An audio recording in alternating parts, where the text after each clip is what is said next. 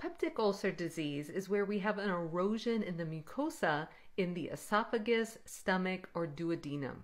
This can cause epigastric pain, nausea and vomiting, bloating, and gastrointestinal bleeding. In nursing school, you definitely have to know the key differences in symptoms between a gastric ulcer and a duodenal ulcer. A gastric ulcer will cause pain approximately 15 to 30 minutes after a meal. With a gastric ulcer, pain is worse during the day and is worse with eating. A duodenal ulcer will cause pain approximately two to three hours after eating. And with a duodenal ulcer, pain is worse at night and actually feels better with eating.